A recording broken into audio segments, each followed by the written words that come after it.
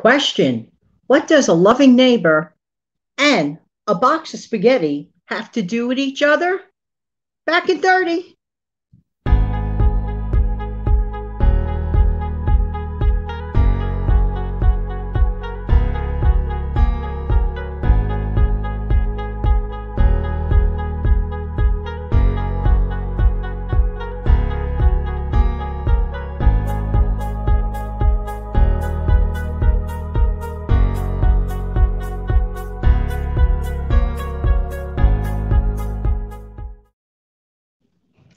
Good morning, good afternoon, good evening. Hi, this is Jan from New York City. My channel name is Jan from New York City Saves Money. If you are new here, welcome, welcome, welcome. If you are a veteran here, thank you, thank you, thank you. If you're stopping by for one time, I humbly thank you for doing that. Hope that this video finds everybody doing well. Happy Saturday. This is my second cup of Joe. Mm-mm. Have anybody have their coffee yet? Mm in my real time here in New York City, it is actually 7:51 a.m. in the morning. It is a beautiful morning. The weather's looking great, the kind of weather you pray for all year long. What does a box of spaghetti, a loving neighbor, have to do with this video? A lot. I'm going to tell you a little story, a little backstory. I had a neighbor, and unfortunately, I have to use the word had because unfortunately, uh, she passed away a couple of years back. I knew this neighbor my whole life, and I'm proud to say her first name was Lucy. What a character! She was really the queen of the neighborhood.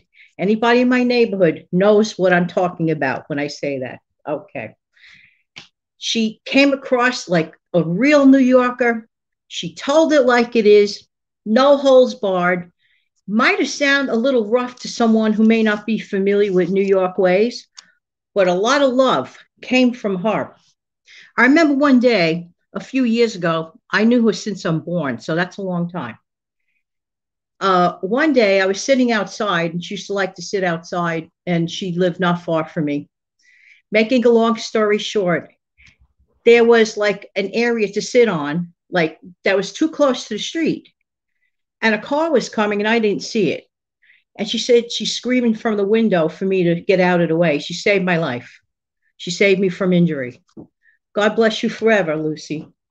I dedicate this show to you. Okay. Now, what does this have to do with spaghetti? Lucy showed me rather late in life, and it, I'm surprised I didn't hear about this recipe forever. Okay. And it's called spaghetti pie. I'm like, what? I mentioned spaghetti pie because spaghetti pie is very, very inexpensive to make. Now, there are a couple varieties. I always thought there was one variety, and that was Lucy's variety. and anytime she was in the mood, she'd say, she'd scream out the window. This was her method of communication many times. Janet, I'm making spaghetti pie for you. She did this a couple of times.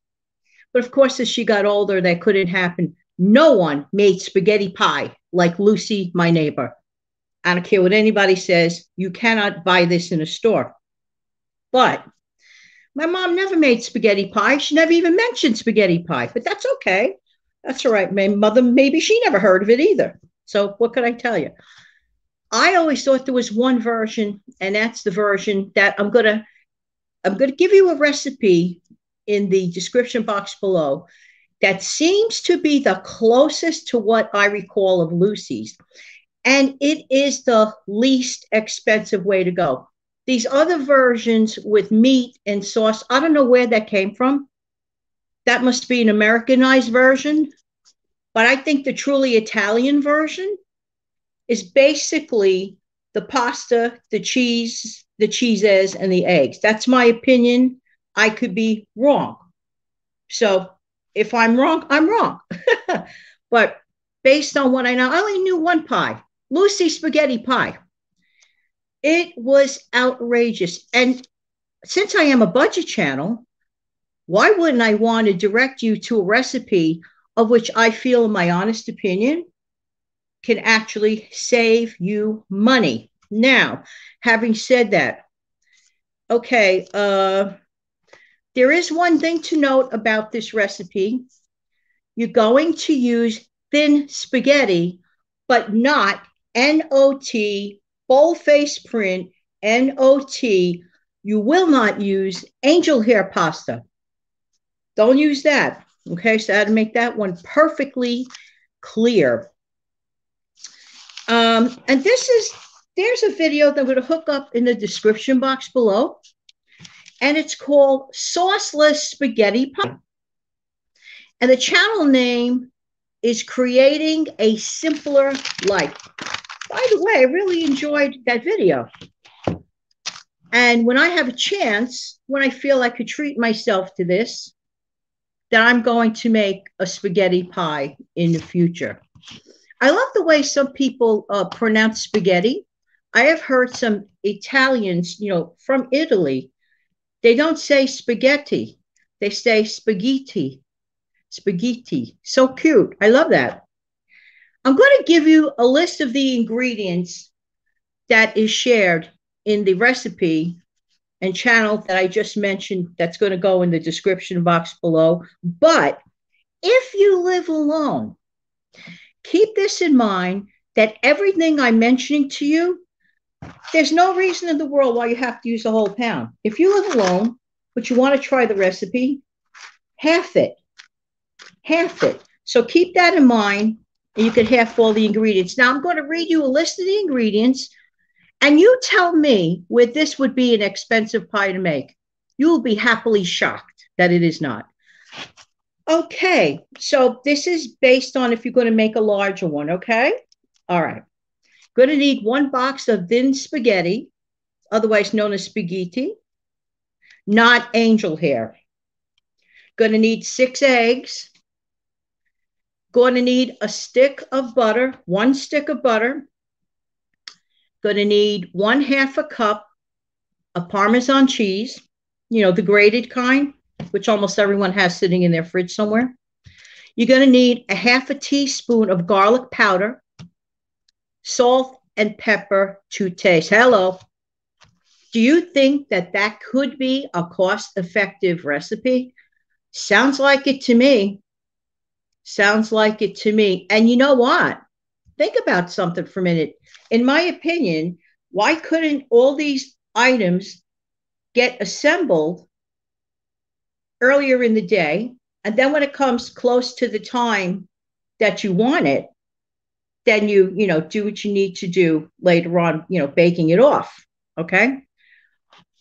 This recipe is very simplistic and very cost effective.